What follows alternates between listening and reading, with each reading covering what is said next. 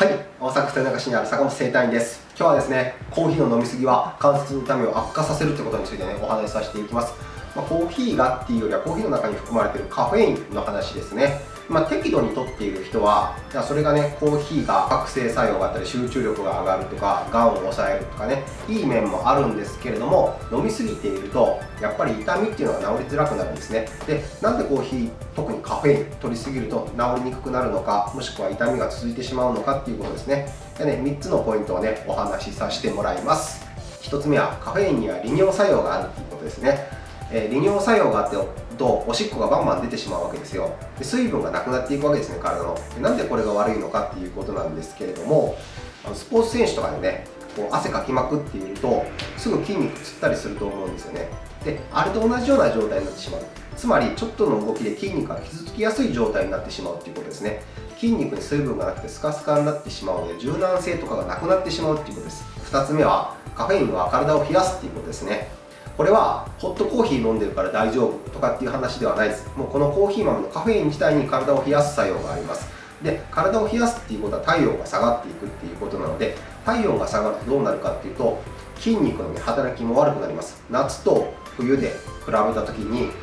夏の方が筋肉っていうのはまだ柔らかいそば暖かいから。で冬の方がやっぱり寒くなるから筋肉は固まりやすいです。実際スポーツとかしてても冬の方が怪我とか故障が多いのもこういった理由です。つまりカフェインを取りすぎることによって自分で自分の体温を下げて筋肉を傷つきやすい状態に持っていっているっていうことですね。3つ目はカフェインは自律神経を刺激するっていうことですね。自律神経には交感神経と副交感神経っていうのがあります。で交感神経っていうのは集中してる時とかですねに特にガーッて働く神経があります。で副交感神経っていうのはリラックスしてる時ですね、まあ、だからカフェインを飲むと自律神経の交感神経が刺激されて集中力が上がるとかって言われるんですけれどもこれ交感神経刺激されるのって実は痛みもそうなんですね。痛い時って交感神経を思いっきり刺激されてるんですよね。でリラックスなんか絶対できないじゃないですか痛いのに。つまりここはガンガン刺激されてる状態なわけですよ。さらにここででさらに交感神経を刺激する。ってなると余計痛みが強くなるんですよね。で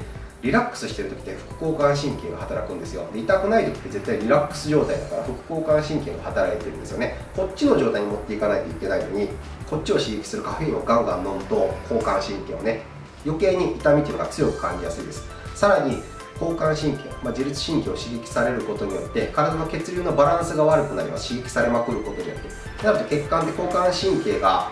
働くとギュッて収縮してしまって血流が悪くなります。血流が悪くなるとどうなるかというとさっき言ったように体がまず冷えやすくなります。冷えると当たり前ですけれどもさっき言ったようにこう筋肉が硬くなりやすくなります。で痛みの物質っていうのは血流をめぐって体の外に排出されていくって役割もあるんですけど血管ギュッて締め付けられると痛みの物質がそこに滞りやすくなります。つまり流れなくなっちゃうんですね痛みの物質が。なのでそこの部分の痛みっていうのもなかなか治りづらくなってしまいます。3つの理由があって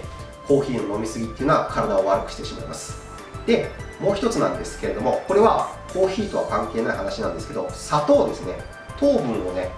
こう大量に砂糖を入れて飲む人いると思うんですけど砂糖っていうのは体っていうのをまた冷やしてしまうんですね。砂糖を大量に摂ると血糖値っていうのがガッて上がるんですよ。でこの血糖値を下げようとするとき何が働くかっていうと体の中でインスリンなんですね。インスリンが働いて体の血糖値をガーッと下げようとするんですけどこのインスリンっていうのは一緒に体温も下げてしまうんですね。なので砂糖を大量にコーヒーによって飲みすぎる人はそういう意味でもこう冷えっていう状態になります。で冷えるとさっき言ったように筋肉が硬くなりやすくなってなかなかこう筋肉の伸び縮み柔軟性がなくなるので痛みっていうのが治りづらくなります。じゃあコーヒーを飲む量なんですけれども1日にどれぐらいまでならいいのかっていうことなんですけれどもだいたい1日3杯から5杯ぐらいまでって言われています。でこの範囲内で飲んでくれれば大丈夫っちゃ大丈夫なんですけれども痛みがある人っていうのはこのコーヒーのこの3杯から5杯の間に収めてたとしてもコーヒーのせいで痛みが強くなるっていうことがあるのでできるだけ痛みが改善するまではコーヒーを飲まないようにして水ですね。水をどんどん飲んでほしいんですよ。できれば1日2リットル水を飲むようにしてください。でコーヒー以外にもカフェインが含まれている飲み物っていうのは結構あって例えば玉露とかですね。あとはエナジードリンクとか。で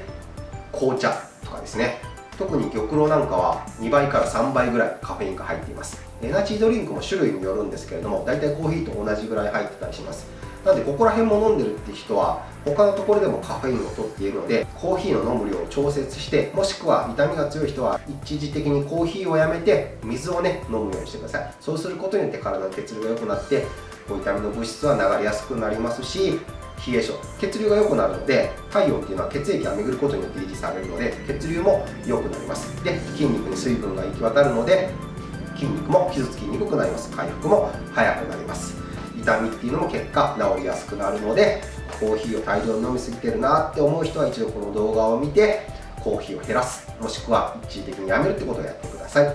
では